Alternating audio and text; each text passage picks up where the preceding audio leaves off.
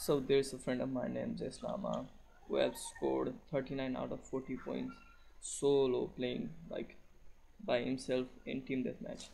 And he sent me the screenshot of that. And I was thinking that how much can I get closer to that? I attempted going doing my best and going closer to that. And this is the result I got after 1 hours and 15 minutes of playing this game continuously. Uh. I will try improving this in my coming future and here's the screenshot of him hitting that scope hope you enjoy the game. Thank you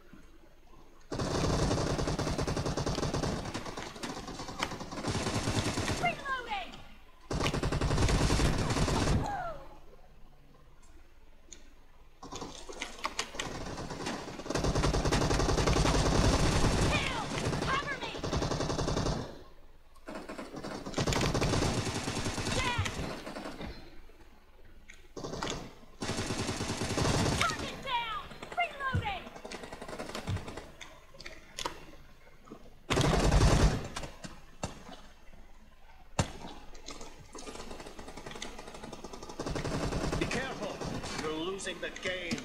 The blue team doesn't have a lot of time left.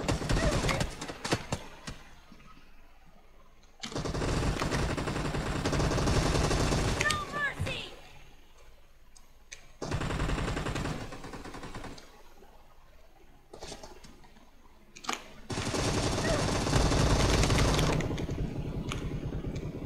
Red team victory.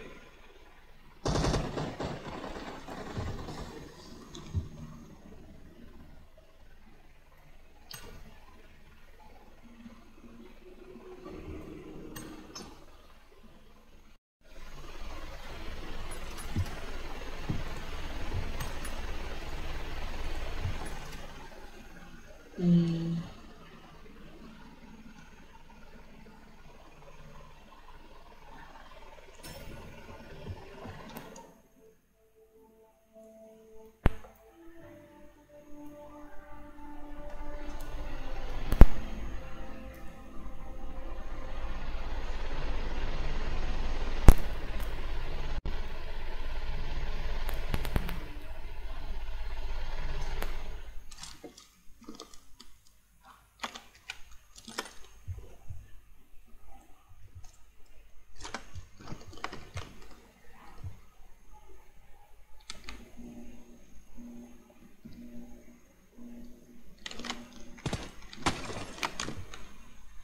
Team match. Let's go.